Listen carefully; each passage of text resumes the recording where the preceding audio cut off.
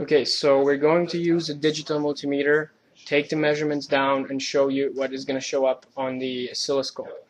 First thing is we assembled a simple circuit containing just one resistor, and we're generating a 1 kilohertz wave. So first thing we're going to do is we take the DC measurement on the uh, resistor. We got 1.947. And the next thing we're going to do is take the AC measurement across the resistor.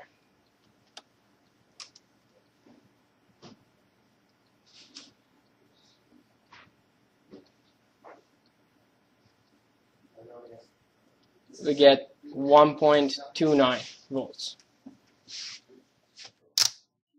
Okay, so the DC measurement that we got was 1.947 volts. That is also our offset. That's what we're going to see on the oscilloscope, which will look like this.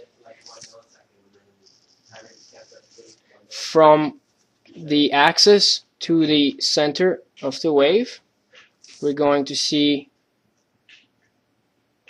1.947 947 volts. This is our offset. And the, the, the other measurement, the VAC measurement that we got on our uh, oscilloscope, since we know it's a sine wave, we're going to actually multiply it by root 2. So it was 1.29 volts multiplied by root 2. And that gives me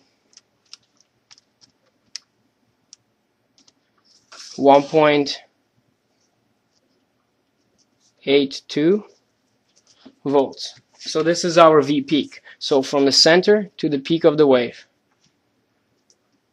is 1.82 volts.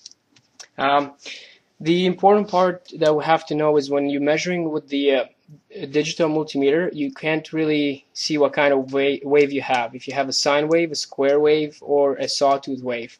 And you also will have to use a different formula depending on what kind of wave you're using. So we know we're using a sine wave, so we multiply by root 2. But if you have a sawtooth wave, for example, you're going to have to multiply it by root 3. And if it's a square wave, the measurement that you actually get is your actually V peak measurement. So it's just going to be VRMS. So we are going to hook up the oscilloscope and look at the results. So red goes to red and black goes to black and this is what we get.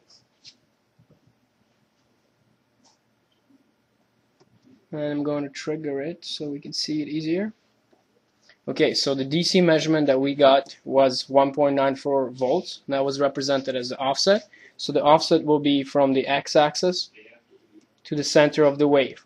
Now, one little square vertically is represented by 2 volts. So the measurement from the bottom to the center is roughly 2 volts and what we had was 1.94 so it's pretty close.